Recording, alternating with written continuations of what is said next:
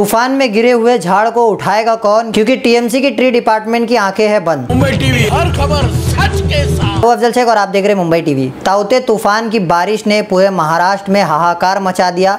अगर बात करें इस बारिश के साथ साथ तमाम जो टीएमसी है उसकी पोल भी खुलती हुई नज़र आई। आपको बता दें इस बारिश में नाला सफ़ाई जो उसकी फंड आती है, उसकी भी पोल खुली और साथ ही साथ ट्री डिपार्टमेंट की भी पोल इसमें खुलती हुई नज़र आ रही है।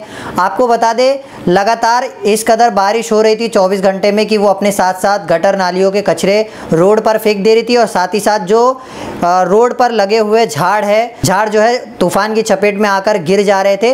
ऐसे हम अगर बात करें मुमरा कौसा में तो तमाम जहाँ जहाँ झाड़ गिरे हुए थे, वहाँ पर उठाने कोई आया नहीं, जस के तस वहीं पर पड़े हुए हैं। ट्री डिपार्टमेंट की बात करें तो वहाँ पर कोई देखने नहीं आता। अगर हाल ही की बात करें, नगर सेवक अशरफ शानू पठान और विरोधी पक्ष के नेता है जो, उन्होंने भी आवाज़ उठाई, लेकिन ट्री डिपार्टमेंट अभी तक हरकत में नहीं आया है। हम आपको वीडियो दिखाते किस तरीके से झाड़, जस के तस वहीं पड़ा हुआ है। अब देखते इन्हें कौन उठाने आता है और कैसे इन ट्री को रोड से